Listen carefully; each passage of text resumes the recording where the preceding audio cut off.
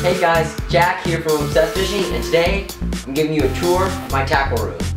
Um, this is not necessarily a room, but I figured it's winter, fishing's a little slow right now, and I figured why not give you guys some content. And I've got a lot of questions about my rods, my arsenal, my tackle, and so I figured I'd just show you guys this kind of setup I have. I thought it was pretty cool. I've got it nice and organized right now. I've got this shelf, I got some random stuff over here on the cart, and then I've got rod racks and other things. I'm going to walk you through it and just kind of the way I do things, at least for now.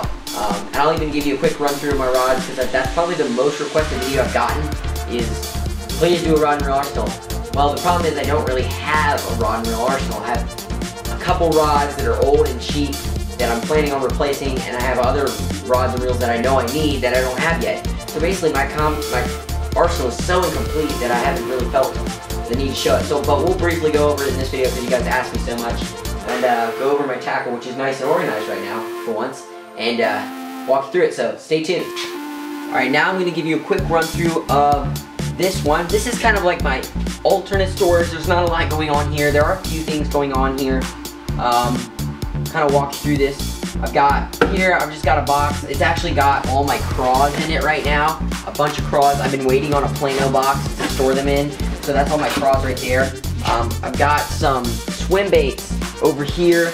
Got my swim baits over here. A few random rods here that are being worked on. Over here I've got some Alabama rigs just sitting in storage. So just keep them nice and uh, just keep them out of the way since I don't use them all that often. Then down here I've got a saltwater bag, little box of catfish stuff, uh, box, some random boxes with miscellaneous junk in it. Uh, this one's got some skirts and some blade baits in it. That's really random. Um, I got one here with some custom poured plastics. And I've got one here with some magnum-sized football jigs. Uh, further down, I've just got a bunch Further down, I've just got a bunch of Plano trays, empty trays that I might use eventually.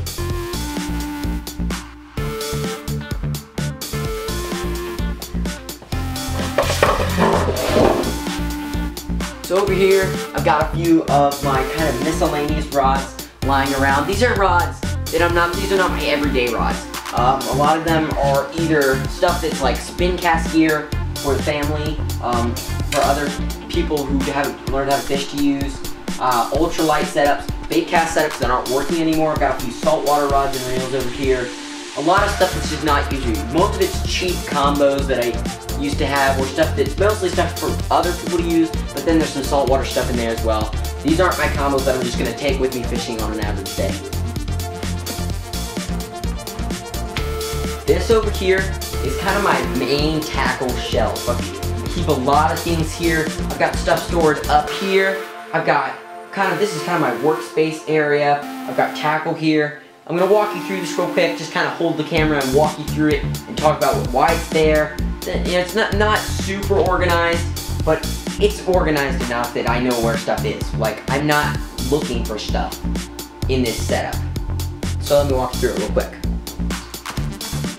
Starting off, we have this uh, kind of this, this bench here that I can use, that I can sit on to work here on this kind of desk, or I can use it to get up here, which is what I'm to walk you through real quick.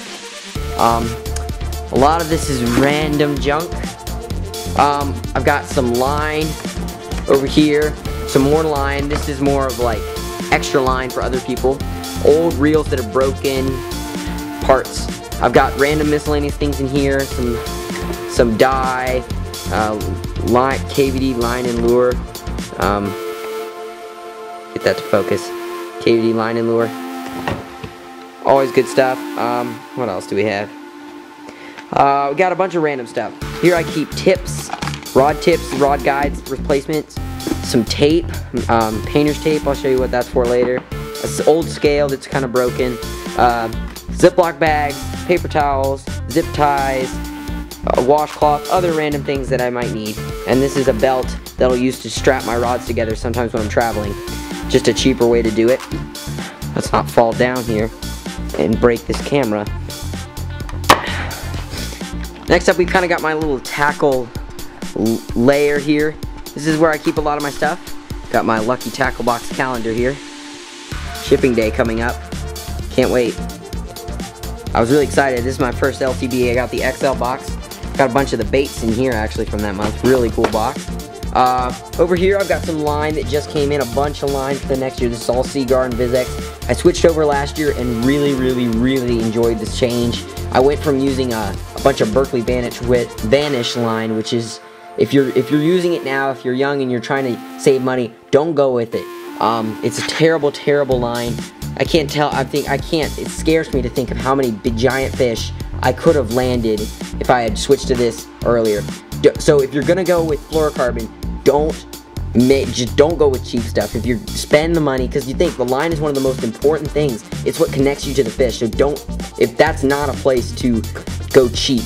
So that's why I buy the more expensive fluorocarbon. It's not that bad. At Tackle Warehouse, it's like 17 to $20 a spool, which is may seem like a lot to beginner anglers, but for fluorocarbon of this quality, it's not that bad.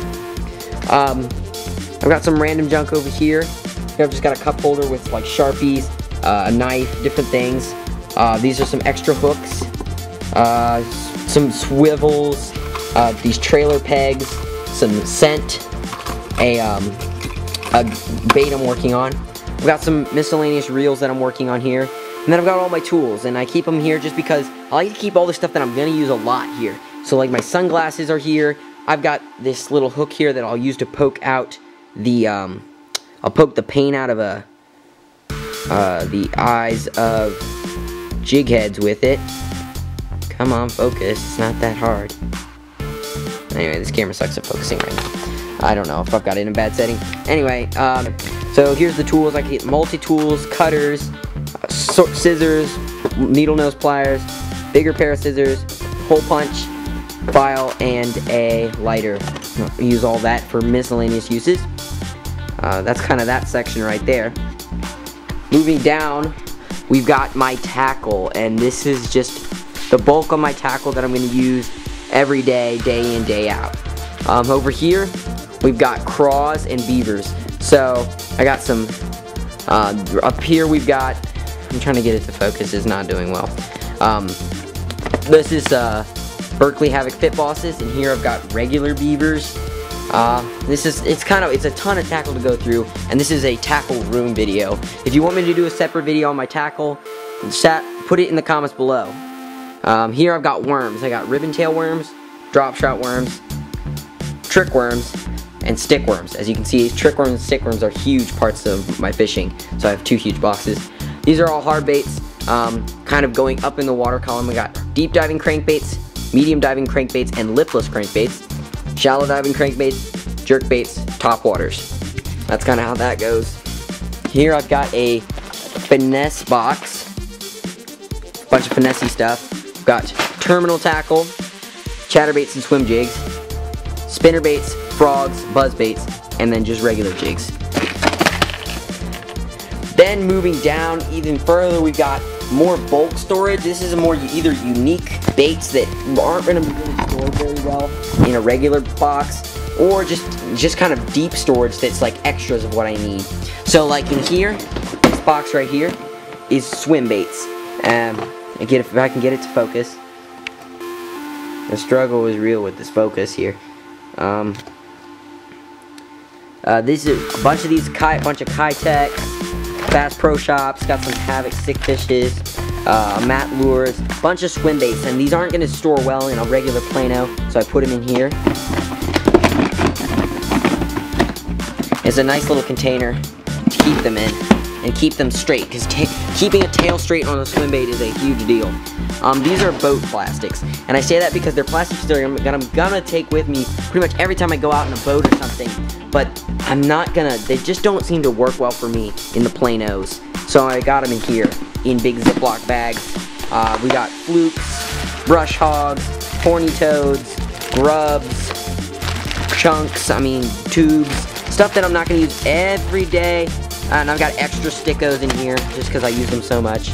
Um, boat plastics. Plastics I'm probably to take with me, but they're just not in the planos. Um, I may switch over the, to planos, but for now. And then these two are kind of deep storage. So like this one is plastics. So I've got extra trick worms in here and stuff, because I use trick worms a ton, but I've also got specialty stuff, like these bluegill baits by Bass Pro Shops.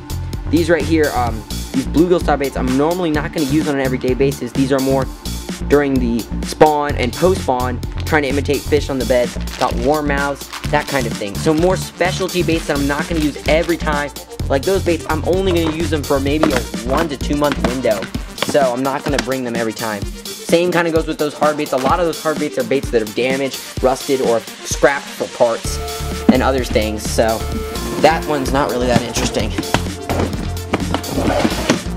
Trying to hold the camera and do this for you guys. So that right there, that is my main tackle shelf. Very cool, really like the way it's set up. I can reach in here, grab any boxes I want. I can go down there, my more deep storage, any accessories that I'm gonna probably grab on a days. Like if I'm gonna do my LTB, I love the Lucky Tackle boxes a lot, so I'll just grab my Lucky Tackle box here. My orders that come in from Tackle Warehouse, just throw them right there because I might be working with them. Anything, the reels that I'm working on, tools that I need to use it, it's all there. Tackles right there, not that much lower, so it's not hard to get. But then the storage, the stuff that I'm going to use a little bit less, or is just a tad harder to get to. And then the stuff up here is a little bit harder because you can't see it as well. That I'm not going to need that as much. So that's kind of my tackle shelf. I really, really kind of like it a lot. I'm happy how it turned out, and I wish it would focus. Last and most certainly not least are my rods and reels. This is probably, I get requested to go over them so many times, I figure I'll just go over them briefly. As I explained earlier in the video, this isn't really my full arsenal and I don't feel satisfied. That's one of my big things for this year. I think the problem is I'm really too much of a sucker for tackle. I'll see a new bait or a new technique that I haven't tried or mastered, and I'll go spend a ton of money buying baits for that, rather than buying a new rod and reel. So this year is one thing I'm really going to step down, spend the money, and buy those rods and reels. I have a lot of cheaper combos so a lot of these are probably going to be replaced, so I'll just go over them real quick, uh, just because I've been asked to. Um, here I've got a Mitchell 300 Pro Ultralight. This is just ultralight fishing. I'll just for bluegill, crappie, trout, or when the bass fishing is extremely tough. Here I've got a 6.6 medium action quantum, I think it's Trip X combo. Really nice combo for the money, $50 on Walmart. 10 pound test fluorocarbon on here. Used this for a long time. Probably not going to use it much anymore. It's just a two, it's a two-piece rod, so it's not as sensitive. Next, I've got my main spinning rod and reel. Gonna get, hopefully get another one of these setups. This is a Lamiglas XL2 bass rod, seven foot, one inch, um, medium heavy power. And this is a Revo S30 in the faster, that's just the regular gear ratio they have. I've got 15 pound braid on here to a 10 pound fluorocarbon leader most of the time. I'll go to eight, sometimes as low as six. Uh, generally don't go more than 10 when I'm fishing the spinning rod. Next up, I've got a Quantum Octane rod and reel combo. Uh, this is really cheap, really crappy. I use it because it's what I have. It's about, it's a, it's labeled as a medium heavy power, but it's much more moderate action. There's a lot of bend to it. So I'll use it for jerk baits, crank crankbaits. It's got 12 pound test fluorocarbon on it. Um, next up, we've got a Quantum, I mean, uh, yeah, a Quantum Ultra Rod. This was from a combo. It's a 6.6 medium. I've got a Bass Pro Shops Pro Qualifier on there, 7.1 to 1 gear ratio, 15 pound mono. This is pretty much strictly top waters and sometimes square bills and such. Next up is one of my own, probably my only nicer rod and that I have on Stars Baitcasters. It's a Bass Pro Shops Pro Qualifier with a Generation 1 Abu Garcia Veritas 7 foot medium action, 17 pound fluorocarbon on here. Uh, next I've got a Abu Garcia Vengeance. It's a cheap rod, uh, 7 foot medium heavy. I've got a cheap, cheap, cheap floor. Uh, it's not worth a cent. Field and Stream reel that came from a combo. It's like a 6 2 to 1. Got 20 pound fluoro on here. The reel is junk. Gotta at least replace that, if not the rod as well. And then this is a 7 foot medium heavy Quantum Accurist rod with a Quantum Accurist reel and it's a 6-3 to 1 gear ratio. I have 50 pound braid on here. Really, the setup's actually been really good to me, but the reel's just a little slow for what I use it for.